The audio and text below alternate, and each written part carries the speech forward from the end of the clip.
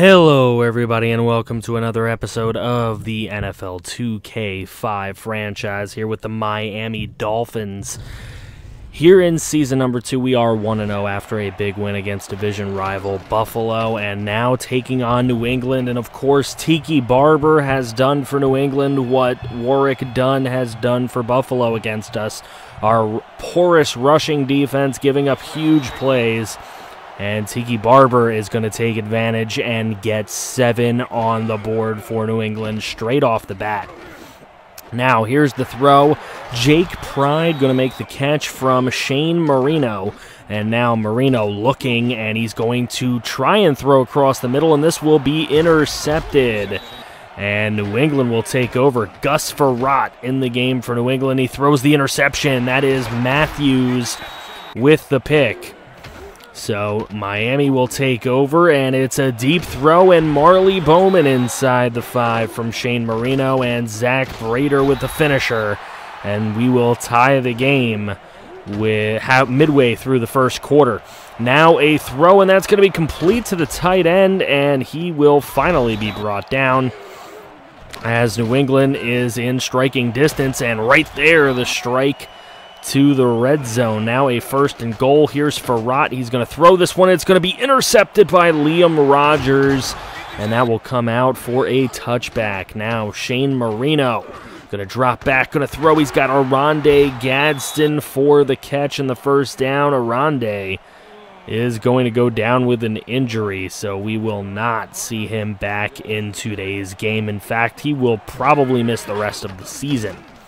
Now Marino going to throw and Jake Pride going to make the catch. He takes a big hit in the end zone, but it's a touchdown nonetheless, and that will give us the 14-7 lead.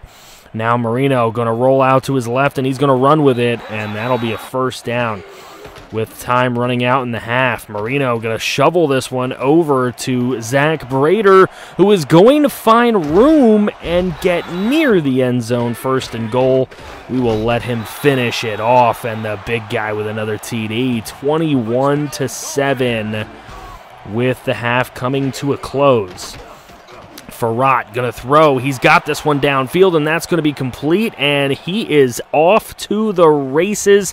Touchdown.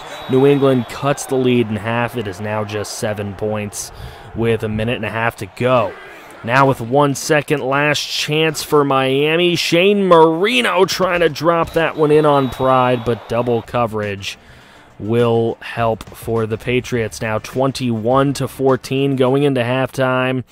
We lead in passing yards, but their rushing yardage is what's making this one close, but we are killing them in time of possession.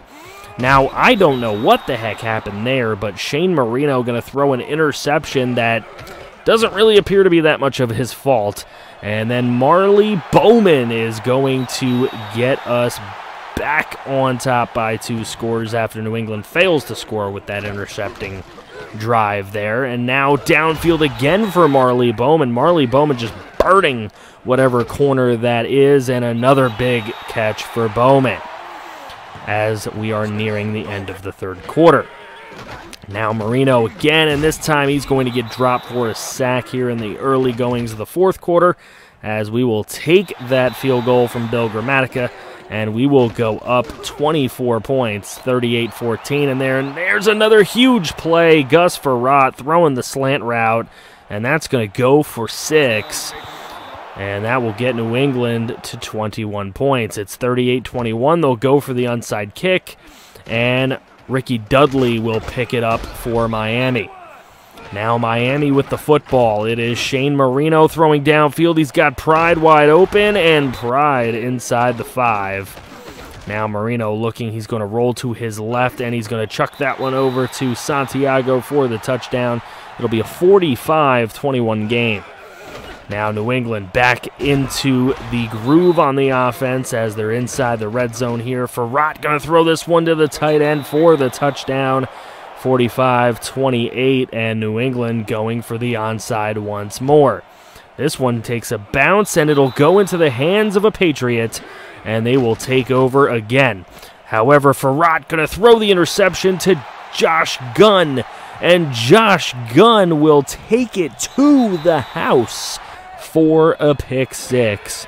We're at 52-28. Frerotte Gonna throw it again, and he's throwing this one right to Hermes Halt for another touchdown pass. Man, he's throwing more touchdown passes to Miami than he's thrown to his own team.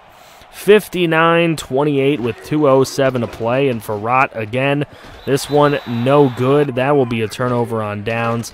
Miami takes over with it. And an interception thrown by Shane Marino. Unnecessary play there. Don't really need to make that throw. And now on another fourth and 10, that will be incomplete.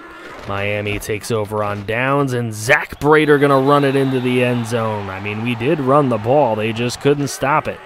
66 to 28 right now, and Hermes Halt is going to end the game with that interception. 105 rating for Shane Marino. Four touchdowns, three interceptions. Could have been four touchdowns, two picks. He really didn't have to throw that last one.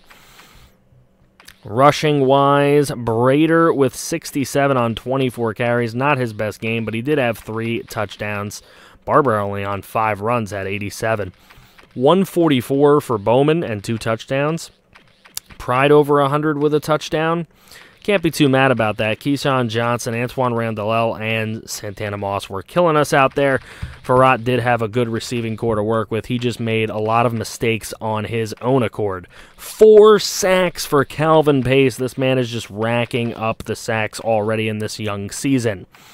Two interceptions for Hermes Holt and one for Josh Gunn, and one for Matthews just an all out great game for our secondary, to be honest with you. Even though we gave up 28 points, secondary came away with a lot of big plays.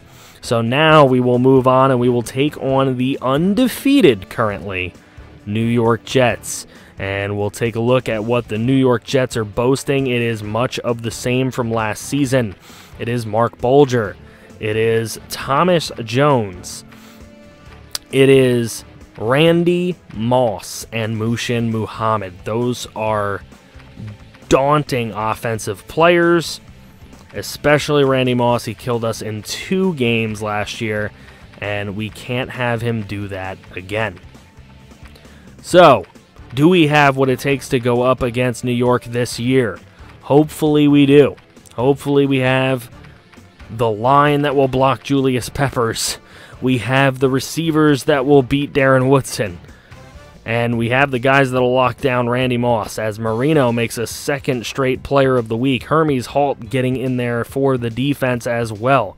Really good to see. I hope you guys will drop a like on your way out. Thank you guys so much for watching. Don't forget to like the video, subscribe if you're new. Plenty more of this content coming your way. Thank you.